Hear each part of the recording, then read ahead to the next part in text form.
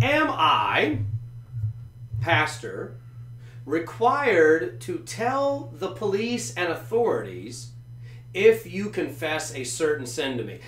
When you come and confess that to me, are you confessing it to me as a man? No.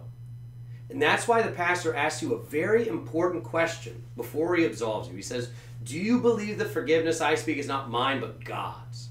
And he's asking you that for a very important reason because he's asking you, Do you believe that you've confessed this sin to Christ? You're not just getting it off your chest so someone else knows about it. You're not just venting, you're confessing it. You know you have sinned and you do not desire to sin anymore, and you're confessing that.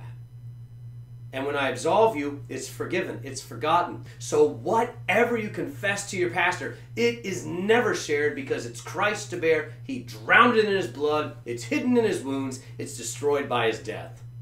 And you are absolved.